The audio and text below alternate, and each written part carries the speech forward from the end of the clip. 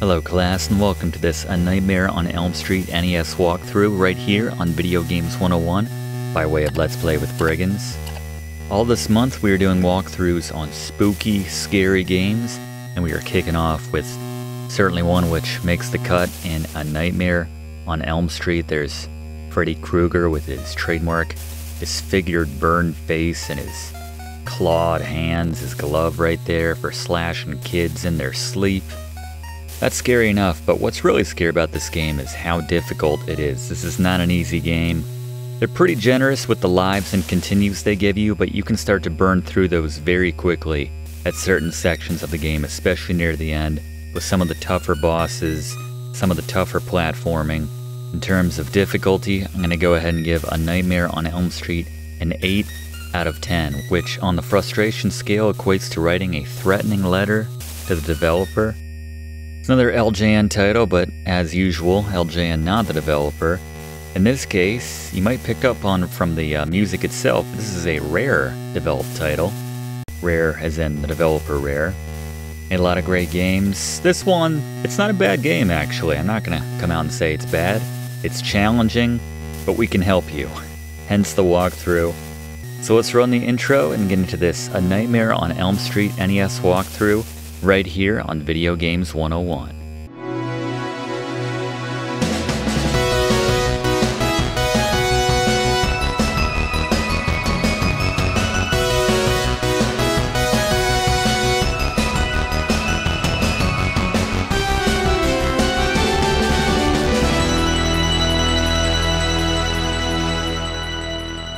Alright, as we start a new game, we can choose how many players we have. Up to four players. That is not a, a typo. Fluff's going to talk a bit more about that later. As we take a look at the controls for Nightmare on Elm Street, pretty basic. Attack and jump, though these change with each Dream Warrior that you're controlling. We'll talk about that a little bit later. If we take a look now at the Briggs notes, the keys to beating this game in this A Nightmare on Elm Street NES walkthrough. First, take your time. There is no timer in this. Well, actually, there is. We we have the sleep timer in the top left. But uh, when that runs out, you enter the dream world, and that's not necessarily the worst thing. Talk about that as well. Uh, two, jump at the edges when you're making your jumps. you Got to make sure you jump far enough. That's a big part of it. Three, use the temporary invincibility when either you get hit or an enemy gets hit. We'll talk about that. And finally, force the dream world in some situations. Sometimes you want to be in the dream world, and we'll talk about that as well. I gotta say, the, uh, the, the handling of the character and the gameplay, it feels really good in this game. it's one of the better titles for the NES, actually. It's something you probably wouldn't expect me to say in a class on A Nightmare on Elm Street, but, uh, but yeah, when you jump and you, you know, you want to stagger your jump a little bit or the, the speed at which you're moving one direction or the other, you can adjust that really easily with left or right. It's very responsive. Uh, the character jumps well. There's a lot of hang time, so it's uh, it's not too difficult to avoid enemies when it's one-on-one. -on -one. It's just when things get a little crazy, there's a lot of things happening at once. That's when the difficulty ratchets up.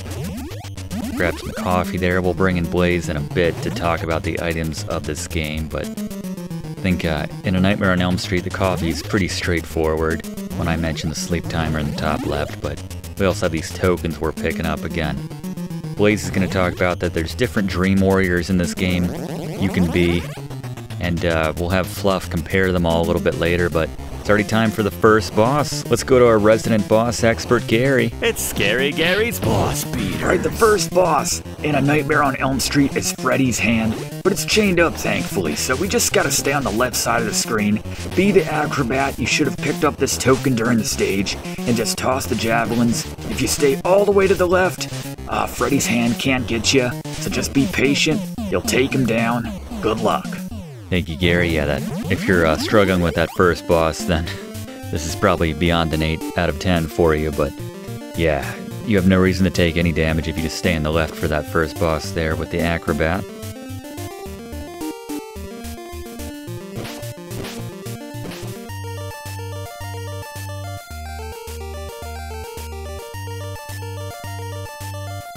I should mention, so we, we go in these houses at the start of the game, the first three houses on the block are uh, random as to which one you can go in first. So, if the uh, just hold up outside of a house, if you can't go in, go right to the next one. If you can't go in that one, go to the final one, the third one, and then uh, after you go in that one, just know that the next house is going to be one of the remaining two. And then uh, once we take out the first three stages in those three houses in whatever order they're in, then we'll head further right down uh, down Elm Street, I suppose we're on, and uh, take on some of the other levels. Even if the door is closed, you could still go inside, as you can see right there. He just walks right in. But now with an overview of some of the items, or all of the items that we've been picking up, let's throw it to Blaze. Alright, let's talk about the items you will find in A Nightmare on Elm Street. First, the bones. You need these not only to complete the game, but to progress to the next section in every level. So make sure you don't miss these. Sometimes they can blend in very well with the background, so keep an eye out for the bones where you can't move on. Secondly, a nice cup of coffee. What teen doesn't love these? These will wake you up, refill your sleep meter. Sometimes you don't want that, as the professor's been talking about, but in either case, that's what it does. Then, if you do happen to fall asleep, you can grab the 1980s and 90s style boombox to leave the dream world. And then finally, we have the three tokens the Acrobat, the Shadow Warrior, and the Necromancer token. Once you pick up one of these, you have that ability in the dream world for the rest of the game. Make sure you grab one of each. If you're playing with other people, don't be greedy, just grab one. It only gives you points after you get the first one of each type, so make sure you spread them out so everybody has every form available to them when it comes to fighting bosses or when you're just in the dream world in general. But there you go, the items of A Nightmare on Elm Street. Good luck. Thanks, Blaze. Yeah, you'll see, we couldn't even pick up that bone when we were the acrobat. Different characters have different quirks like that as we're in the dream world now, obviously. Our sleep meter ran out. We can grab that radio, like Blaze said, to come out of here, but not necessarily the worst thing right now. It's possible that we can run into Freddy while we're uh, down here, but uh, where did I miss a bone? Oh, it's right, right there. Yeah, they blend in easily. Gotta watch out for that. One of the annoying things about this game, which makes it so difficult, is the fact that the enemies just keep coming. They keep spawning. So we managed to thread the needle there. Haven't gotten hit yet, as far as I can tell. Next boss, Gary. Boss beater. Freddy's head moves around, but if you stay to the left side of the screen, he can't touch you. The only thing you want to watch out for is the projectiles that he spits out. And uh, if you stay ducked, you can take it down most of them. Just watch out for the bouncing ones, and uh, watch out when those get to your side of the screen. But just like the hand, just duck, keep tossing those javelins as the acrobat, you'll take them down. Thank you very much, Gary. Should be the last time we have to slum it with the acrobat. And I only say slum it because, well, I'll let Fluff explain it actually as we head to the final of the three houses we haven't been to yet, so head to whichever one that is. And now with a breakdown of the three different Dream Warriors, as well as the, the basic teenager that you play as, here's Fluff. Including the boring teenager, I'm going to rank the four character types in A Nightmare on Elm Street from worst to best. First, we have the aforementioned bland teenager. Loser. With no special abilities aside from zoning out in class and having acne breakouts, the teenager is the worst character type, which is unfortunate because unless you're in the dream world, you're stuck with them. Next, we have the acrobat. Boasting what might be the highest jump and quickest release on their attack by tossing javelins, the acrobat is a solid, not to mention likely the only Dream Warrior character type you'll have early on. Coming in as the second best is the Necromancer. Their jump rivals the Acrobat in terms of height, and the added bonus of slowly floating down makes it a great way to avoid enemies, not to mention it's the only way to make one particular jump late in the game. They also have the longest attack with their generic magic attack.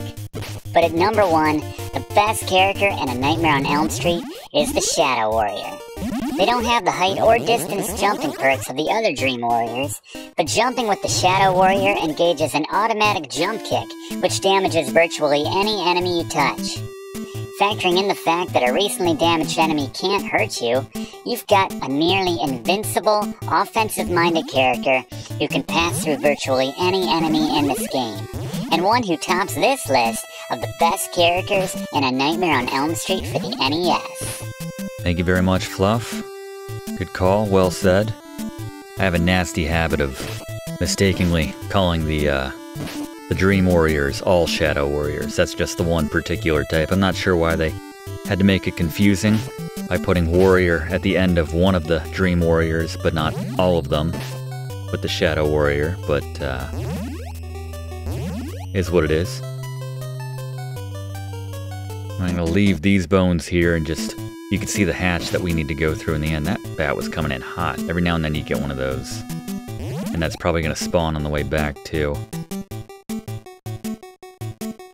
You only need to grab one of each token, by the way. Once you have it, you have it for life. I think Blaze mentioned that, but yeah, the, the multiple tokens are for the if you have multiple people playing with you, so you can save it for them. But yeah, if you lose a life or you lose all your lives and you have to use a continue, you'll still have any of the, the Dream Warrior tokens that you already picked up. So just gotta hit select in the Dream World and you can cycle between them.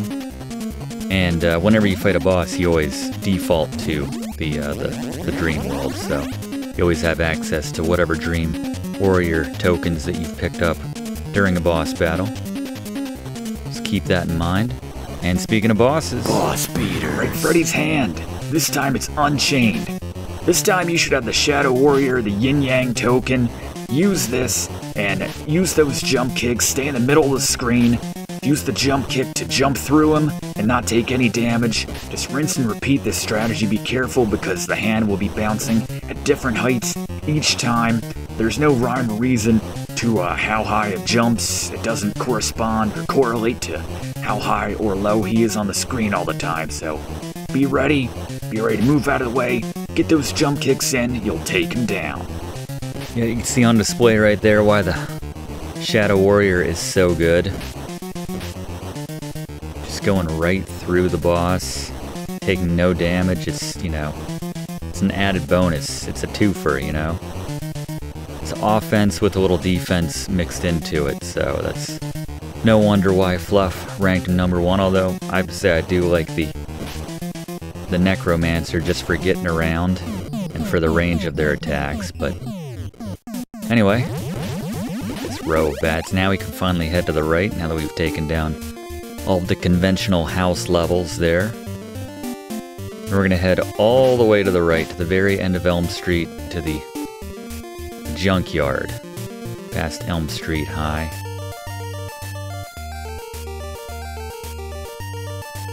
Sure why there's so many snake. What are the property values like on Elm Street? I guess they must be dirt cheap. That has to be the a lot of the allure for moving to this neighborhood. Or if the realtor mentions that whenever you fall asleep, if you have any teenagers in the house, they'll probably be hunted, maybe even killed by Freddy Krueger. Probably not something you mention when you're working on commission. But anyway, let's get another fluff fact with Fluff. A Nightmare on Elm Street is yet another LJN published title based on a film or television property. Like I mentioned in the many other classes we've done on LJN games at this point, they were not involved in the actual development of the game. LJN outsourced development of their film licensed games to a handful of the same developers, and with the case of A Nightmare on Elm Street, they turned to frequent collaborator Rare, who had recently completed fine work on the previous year's NES adaptation of Who Framed Roger Rabbit. While A Nightmare on Elm Street isn't of the same quality, it's a decent title which likely fits somewhere in the middle of the games, bearing the LJN logo. Yeah, again, I can't say this is a bad game. It's it's really not. It's just uh, it's challenging, and uh, you know, I guess the gameplay gets a little samey after a while. There's what seven stages, I suppose. Some of them are much longer than others. We've had some relatively short ones so far. It's a tidy little game, though. It's about a 40-minute game, I'd say, top to bottom. Not too bad. A little longer than see the bones kind of blend in a little bit there, the white against the uh, the, the shine of the cars. A little bit longer than uh, Friday the 13th. Coffee again. It's it's really just your prerogative whether or not you want to pick up the coffee. Sometimes you just want to hang out and enter the dream world. The enemies are a bit more difficult, but it kind of balances out with the fact that you have better abilities with all of the uh, the Dream Warriors. So, know, you can float through things a little easier with the, the Necromancer and kick through enemies with the, the Shadow Warrior, So, yeah, sometimes it's better just to take your time, catch your breath, take down the bats, you know, just figure out as we have the, the Necromancer hat there.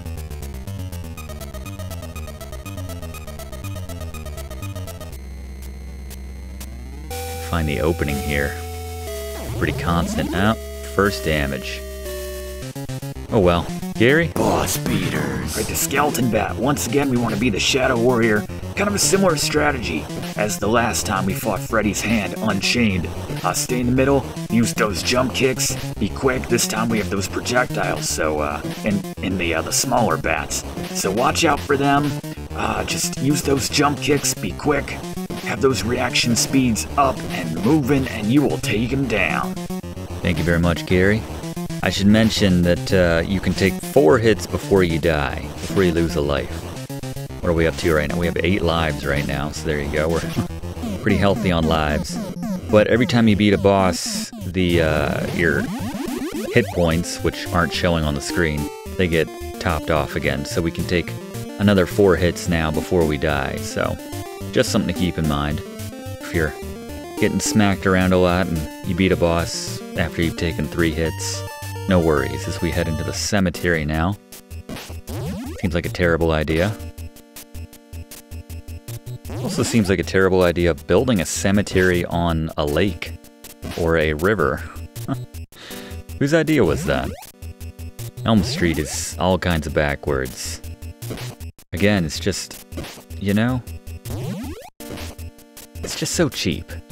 I guess that's that's the best way of putting it. You can see those little fly enemies spawn out of there, so keep that in mind. This is the only time we have these bubbles. Maybe there's one more instance somewhere later in this level. That might be the only one. Make sure the screen is moving. We don't want to be at the front of that screen.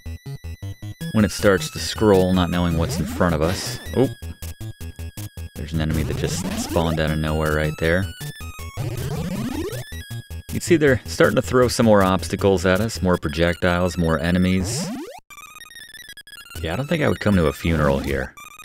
A little too, a little too busy, a little too much going on. And if you're the funeral director, what are you, you gonna look the family of the deceased in the eye and say, all right, so when, when you get to the cemetery, you're gonna have to make a lot of very dangerous jumps to avoid falling into the water. Watch out for the ghost piranhas. Anyway, next boss, Gary. Boss beaters. Right, the ghost. It's a pattern with a lot of these bosses. Just uh, be the Shadow Warrior, stay in the middle of the screen, and they just do that bouncing back, left and forth, instead of uh, little little uh, skull bats this time. You have little ghosts to deal with that just look like they're over everything. They've had a day. But watch out for them. Same strategy. Just kick through everything. Be careful. Don't put yourself in a corner. Don't box yourself in, and you'll take them down.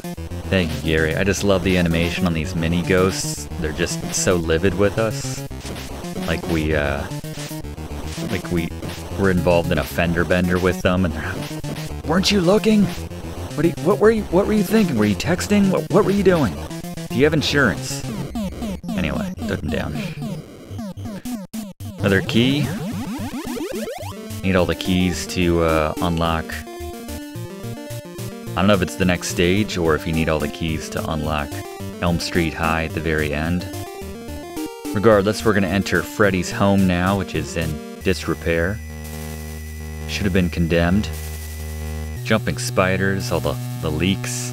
Mostly the spiders and the, the pits. Way too many pits. Again, the realtor would have to fudge that a little bit, you know. Trying to talk to Freddy saying, you know, I'm, I'm having a hard time selling your house. Home buyers these days, they don't want pits, you know? It's a real turnoff. In this market, you can't have a pit in your house. You've got like 30, Freddy. Don't get me started on the bats. and the leaking, whatever that is, it's blood in the dream world, I'm pretty sure. The teeth, head crushers, whatever you want to, I don't know what those things are.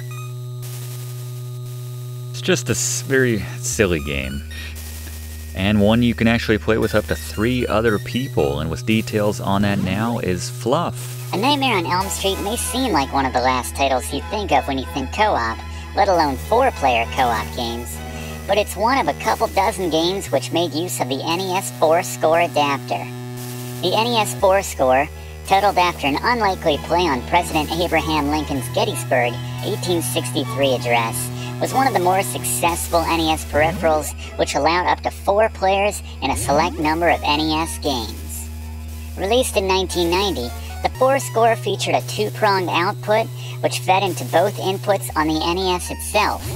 This device had four inputs for NES controllers and even had the ability to enable turbo on either or both the A or B button, making it a handy device to take the place of a turbo controller on the market, even if you didn't have four people on hand.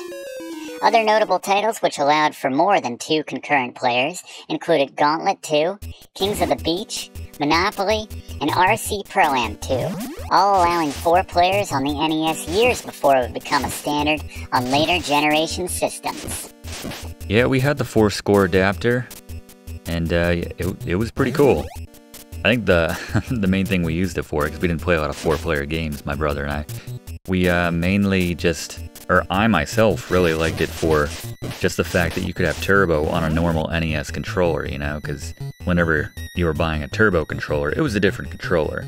It didn't have that perfect feel of just the normal NES controller with just the simple A and B button. It was just nice to be able to have those automatic as turbo if you wanted to.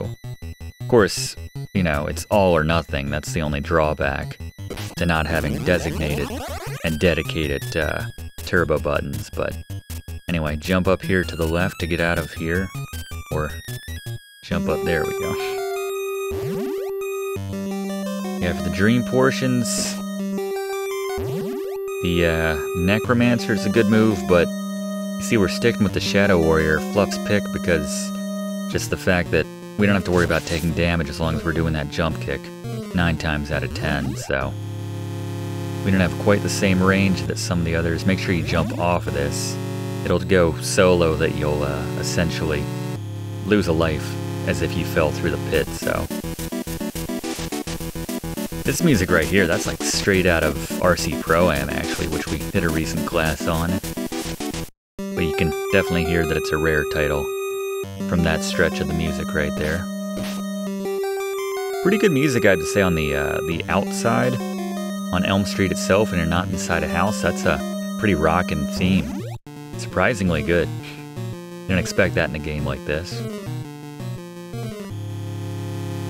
Also, when you're used to LJN horror titles being more like the, you know, five or six notes on repeat that you had in Friday the 13th, the outside theme, I guess the inside theme was pretty, uh, pretty lean as well in terms of notes. They didn't, uh, didn't, didn't go overboard on the uh, the notes budget with Friday the 13th. It came in on budget. That's what I'm trying to say. It's a very simple soundtrack. But, uh, but yeah, I still have a, a lot of love for that game. Check out our walkthrough that we did on that, by the way. All part of the, the playlist in the description of this video. Every single class we've ever done here on Video Games 101. They're all covered right there. And by the way, if you haven't already done so, encourage you to subscribe to this channel to enroll in this class. We do one of these classes every single week. Love to have you enrolled. As we are about to enter the dream world again, it can happen at some inopportune times. You can be in midair and uh, in a spot. Yeah, have to go low here. So we're to be in the dream world for this stretch.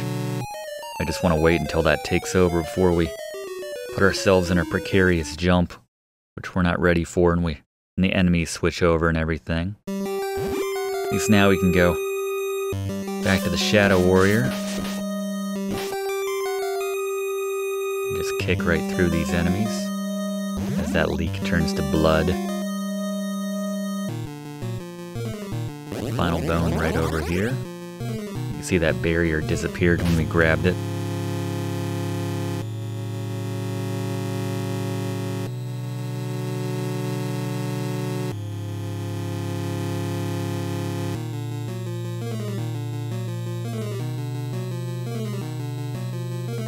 Fight our way back up.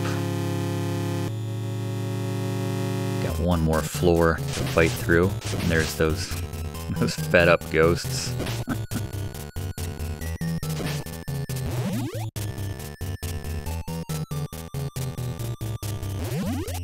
Skull bats there. Just take out with the jump kick. Kind of on the fence as to whether or not I want to pick up the uh, the boombox there, but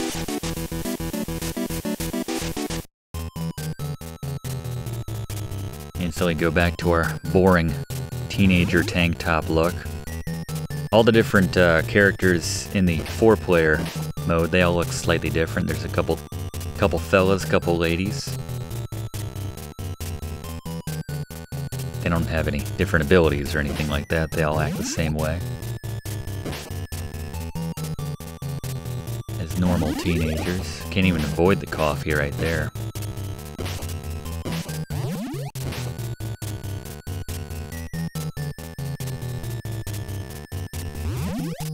But even as the teen, like I was talking about this earlier, just praising the gameplay a little bit, just you know, so many games when you jump in a certain direction, it makes you commit to that, you know? It's just it's bulky. If you jump to the right, you can't react until you touch down on the ground again. And you know, that's to its credit, it's realistic. in real life you can't turn around mid jump. But uh but in a game like this, it's very much appreciated.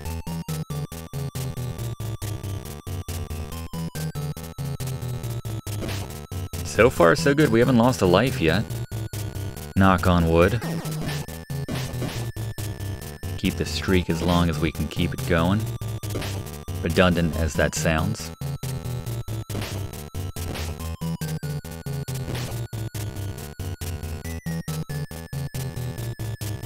It's the final bone. Thankfully the bats can't come down here. Yeah, just take your time. Usually the case in this game, like I said.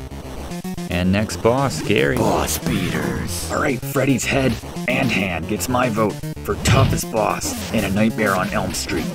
First, you want to be the warrior and the necromancer. Transition between the two, stay on the left hand side of the screen.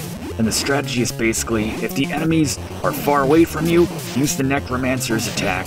Once they get close, quickly switch to the shadow warrior and do that jump kick to protect yourself and maybe do some damage as well to the enemies. Uh, if they're above you, you might just want to duck, but if you're not sure, go with that jump kick. You'll hit them, you'll be temporarily invincible as they're flashing. Just repeat this process, switching back and forth between the two characters. Remember, it's one select from Shadow Warrior to Necromancer, and then three from the Necro to get back to the Shadow Warrior. Repeat this process. Good luck, you'll take him down. Yeah, that's how you have to think of it. Just don't even overthink. Just know I gotta hit select one time, then three times. One time and three times. Just in the moment, though. We're gonna speed things up here just so we can get back to the dream world and make this next stretch a little bit easier. This is the hardest stage in the game. It's the longest stage as well. But, uh, yeah. Speed this up, go to the dream world. Pull out the Necromancer for some of these jumps in particular kind of alternate between the Necromancer and the, the Shadow Warrior, but you can see all that hang time we get to enjoy. Sometimes you just want to float down. That was close. That's a jump you probably can't make with any other type. That's not even the jump that I was referring to. That's coming up a little bit later. This is the jump. Right here. You can only make that jump, as far as I know, with the Necromancer because you bang your head right there, so not enough headroom to make that jump with any other character type. It's just the uh, the, the staggered floating that you can get by with the uh, the Necromancer to make that work. Works well when we need to regulate our, our come down speed, pick up some bones in a busy area. just makes gliding around the stages in general a little easier. Make sure I didn't miss a bone over there. There's the lockers. Not that I would send my children to Elm Street High. Then again, I don't know that I'd live on Elm Street High. It's just so cheap. Fluff? I mentioned the popular NES 4-score adapter earlier on as an official NES peripheral which allowed up to four players to play on a select number of NES titles simultaneously. But the 4-score wasn't the only peripheral from Nintendo which boasted this ability. The NES Satellite was released a year earlier in 1989. Its main intended purpose was to allow players to roughly double the space between themselves and the NES console. The controllers plugged into the adapter, which in turn used an infrared signal to reach a receiver, which itself connected to the front of the NES, thereby doubling the range. Perhaps even more notably was that the satellite had four inputs and turbo buttons, just like the 4 score, allowing up to four players on the same library of games as the 4 score, assuming players had six C-cell batteries lying around to power the satellite unit, of course. Never even heard of that peripheral before this class, thanks, Fluff. He saw the uh, infamous Freddy's coming message before uh, Freddy showed up. Yeah, we're in the dream world. He has a chance of catching up to you if you're in there for long enough, like we were here. just, it makes me laugh. The uh, the trademark symbol on the uh, on the Freddy's coming. I don't know. It's the little thing. There's the first death. All right. Well, now I don't really care now that that's been compromising. I'll probably play a little bit looser here if I'm honest. We're gonna bring in um Gary when we face Freddy for the, the final battle in this game. Just sort of toughed it out there with our own strategy, but uh, yeah, a little bit later we'll see what Gary recommends for that battle. But uh, yeah, if you do run into him in the field, then uh, yeah, be ready. It happens every now and then. That that is the downside of spending too much time in the dream world. It's like they know that it's it's kind of easier when you have access to the, the dream warriors, just getting through the stages, but no thanks, I'm good. Ah, they knocked me into it, didn't they? That's so rude. That's the rudest thing they could have done. As I instantly changed my clothes back to my douchey tank top. Oh well. Yeah, as I said, we're definitely playing a little bit looser now. I don't care. Take some damage here or there. It's a little easier, not lining up everything quite as much. Didn't quite make that jump. It's the whole, yeah, close. Gotta be at the very edge. Probably at the top of that too. I bet having a running start would help as well. There you go. A little bit of everything. Running start, being at the edge, being at the height of that platform. Make where there's no sword coming out of the, uh, or knife, whatever that is, coming out of the floor where that bone was. These are all Freddy's bones, by the way. Freddy is apparently entirely comprised of femurs. Not sure how that works. But uh, we need to collect them all we're gonna take them to the incinerator. Burn them all. I guess that's what happened in one of the films. I don't know. I'm, to be honest, I'm so unfamiliar with the uh, the movies of A Nightmare on Elm Street that I, am much more familiar with the uh, the Simpsons parody of it. When uh, don't touch Willie, good advice, and then they ended up burning him up at the furnace, and then uh, he started killing all the children of Springfield. As we're really letting the uh, the wheels come off of the uh, kind of the vehicle at this point in the game. Careful, make sure you're at the very edge of that jump right there, otherwise the uh, low headroom will make you fall into that pit.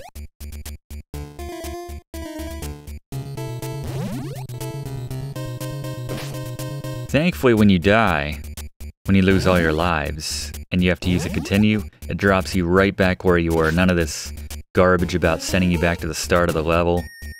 That would be cruel. We'll grab those bones on the way back, because that's where the hatch was, or that's where we saw the barrier, that's where we're headed. Make sure you time that right, otherwise you'll fall into the pit right there. And there's one or two more this way.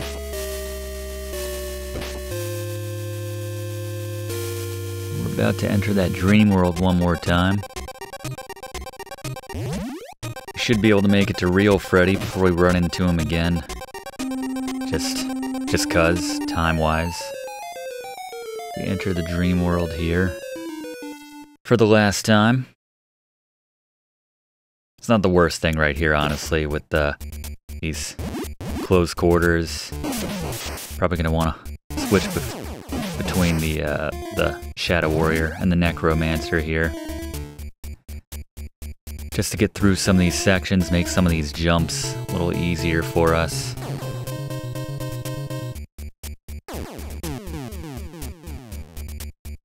Playing loose. At this point, I think, assuming we uh, just follow Gary's boss beaters, there is, I didn't mention this, but there, ooh, that was close. Definitely needed the Necromancer to get out of that jam. There is a boss rush at the end of this game, right before we take on Freddy, which we're coming up on right now, actually. So just use those same strategies. In this case, I don't know, just stick with the Necromancer since he has a little extra range. Same strategies though for these bosses, they're all exactly the same, I'm pretty sure. Up until we get to Freddy himself.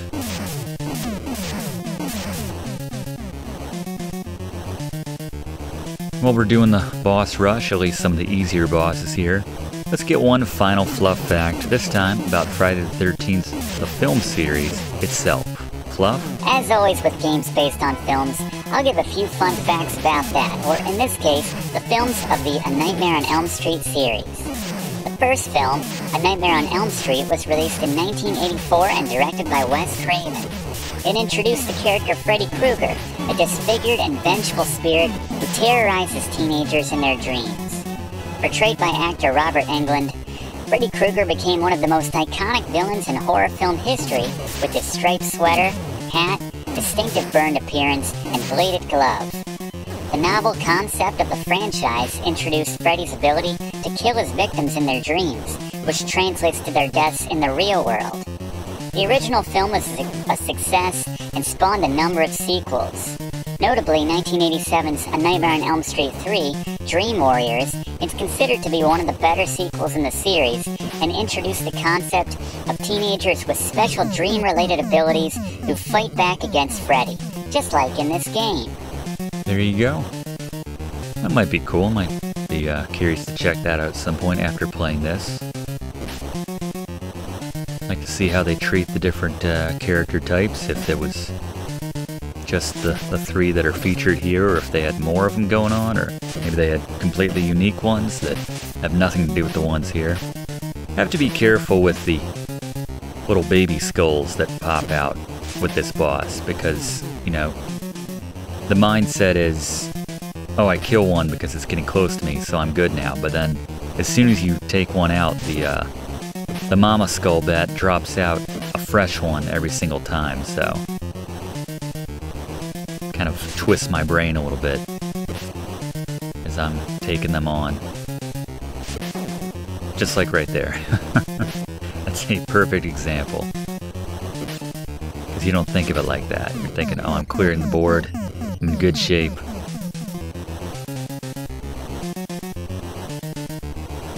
What we got now? The ghost. The, uh, the little ghosts that are just fed up over everything. Come on, spit one out. There it is. How could you take out a loan with that interest rate? Are you crazy? I raised you better than this. What were you thinking? Just insert your own scenario. Whatever's driving that ghost off the walls right there. Just whatever's made them hit their limit.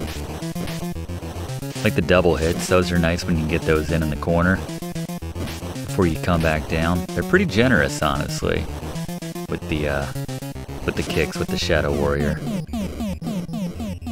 We're coming up on Gary's toughest boss, the combination. I want to get to the left side for this, actually, yeah. Let's just try the Ranzal move, which I coined from uh, Double Dragon 3, which we did a class on. Check that out, that's part of the playlist as well. But he had a jump kick move, which was incredibly effective. It was Basically, uh, just a wall of death to anyone who approached it. Anytime someone got close, yeah, you know, I'm gonna stick with the, the Shadow Warrior here. Stick in the corner like Gary mentioned. And anytime someone gets near, yeah, with some exceptions. Didn't always work for out too, it was more of a 9 times out of 10 type move. Still probably the best strategy.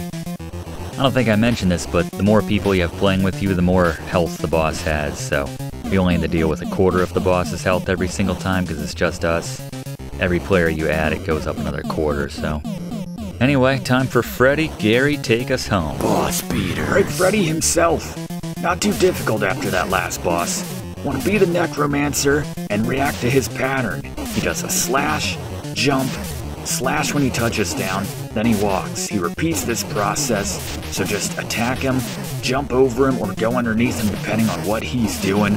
Repeat this process. Watch out for the hands. You can take him down with the Sorcerer's attack, but uh, yeah, take him down with this process. Good luck.